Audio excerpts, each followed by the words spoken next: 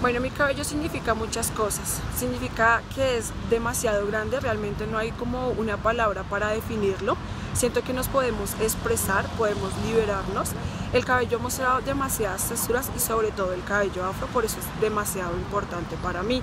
A través de los años nos hemos dado cuenta de cómo ha evolucionado y cómo nos hemos sentido comprometidos con nuestro propio cabello para poderlo cuidar, para poderlo crecer y para poderlo mostrar. Entonces digo que es demasiado importante para mí.